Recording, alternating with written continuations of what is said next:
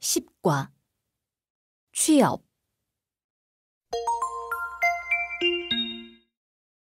말하기 1. 라흐만 씨와 아나이스 씨가 구직에 대해 이야기합니다. 다음 대화처럼 이야기해 보세요.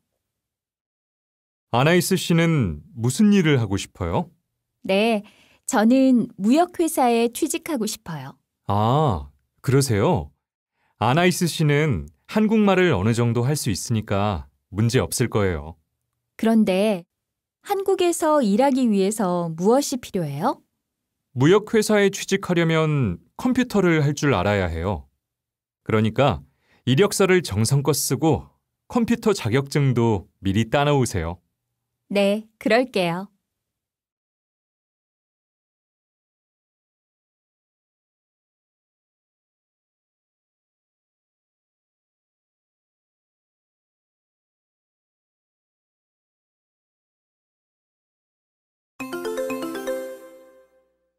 듣기 2.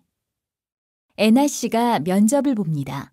잘 듣고 질문에 답해 보세요.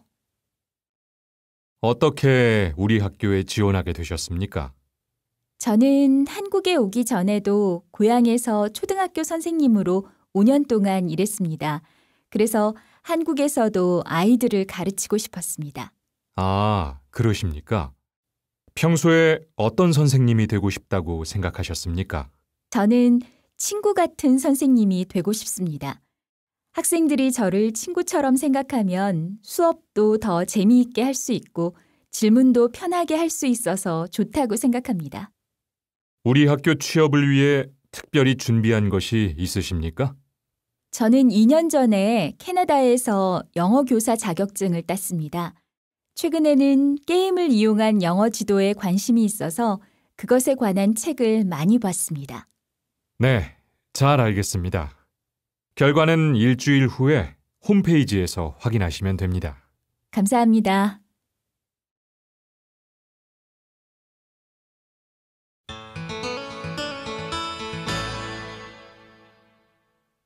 발음 자격증 이력서 경력증명서 다음을 듣고 따라 읽으세요. 1.